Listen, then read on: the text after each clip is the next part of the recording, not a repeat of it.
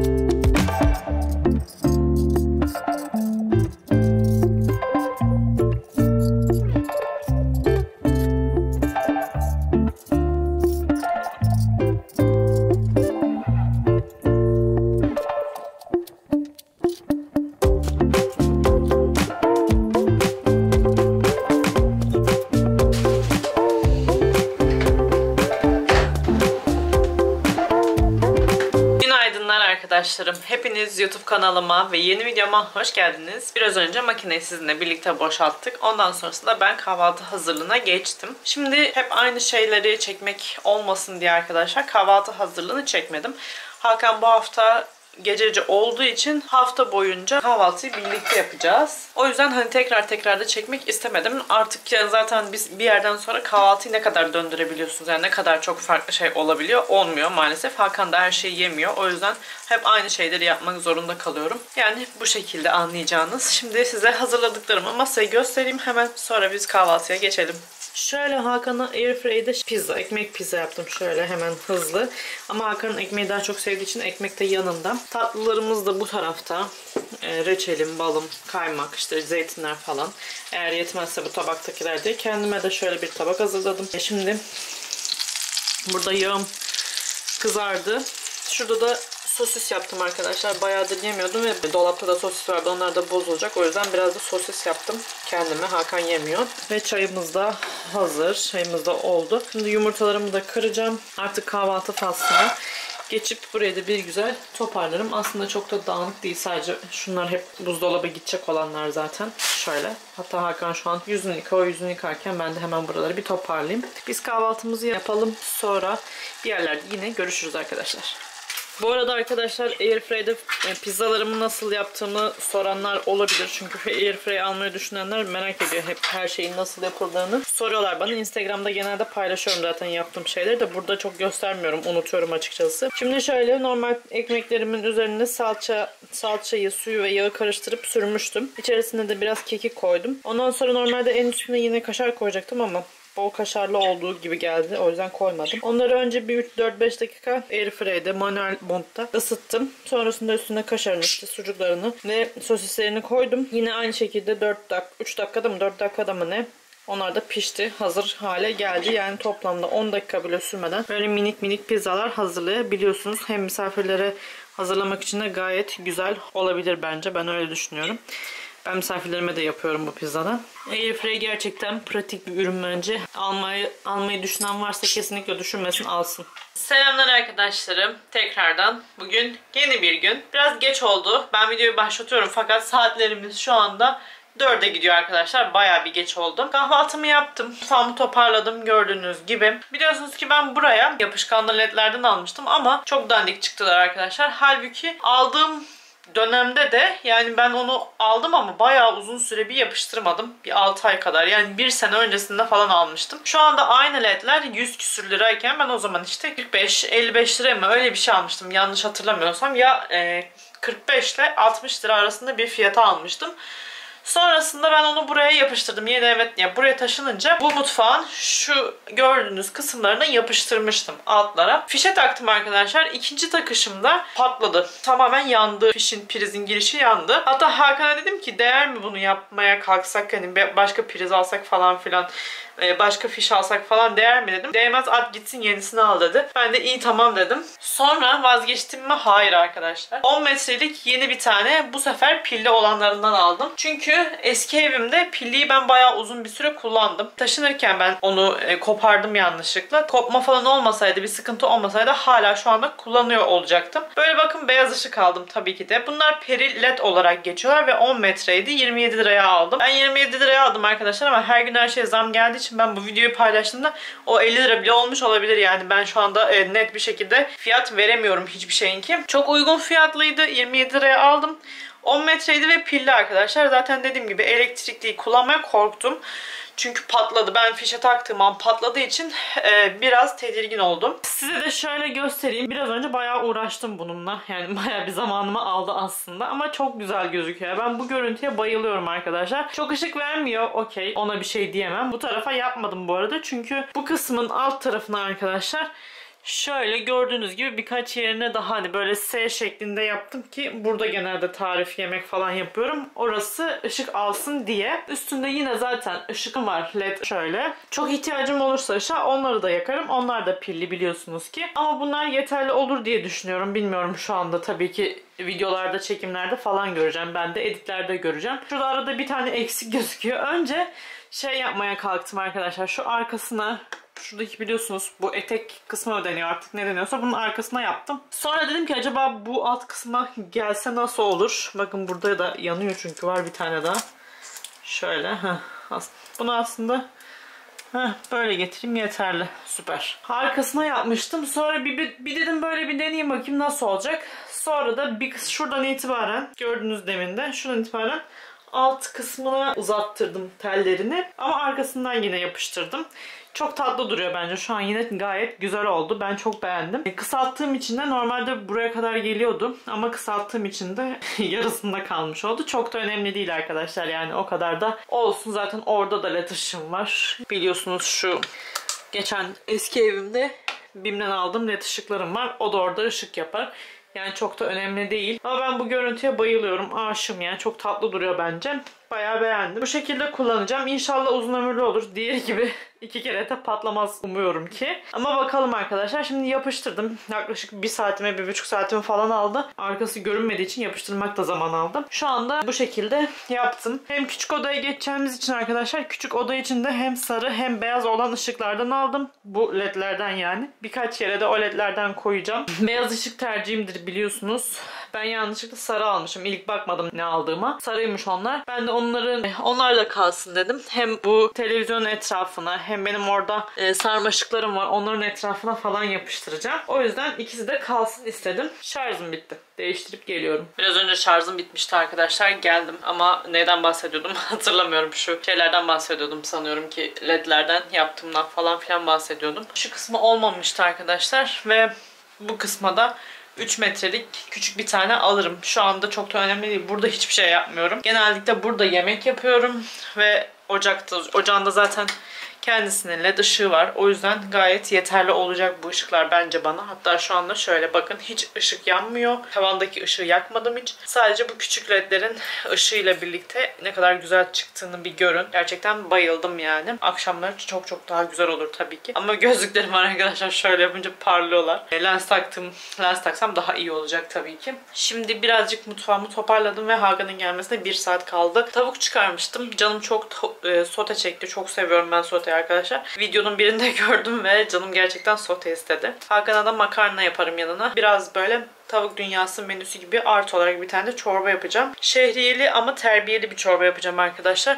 Ben terbiyeli çorbaları daha çok seviyorum. Şimdi tereyağımı falan filan çıkardım. Böyle kısım kısım sizlere de gösteririm. Zaten her yaptığım şeyi genellikle paylaşmıyorum arkadaşlar. Yani yemek kısımlarını çok paylaşmıyorum. Ama sonrasında tarif isteyen oluyor. Ee, Instagram'dan da yazan oluyor. Ben Reels olarak genelde yemekleri paylaşıyorum ama günlük olarak yaptıklarımı Reels olarak da paylaşmıyorum açıkçası. Çorba yapacağım. Yaptığım şeyleri dediğim gibi adım adım sizlere de gösteririm. O zaman ben başlıyorum. Daha da geç kalmadan.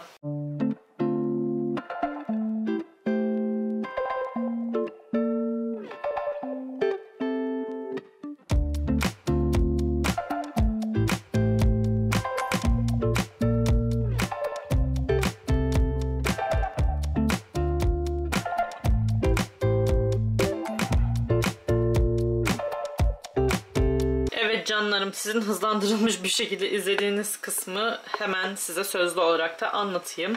Önce 2 yemek kaşığı tereyağını tencerede erittim arkadaşlar. 1 su bardağı şehriye de içerisine, içerisine boşalttım. Yaklaşık 2-3 dakika kavurdum. Renkleri birazcık değişti. Göstereyim.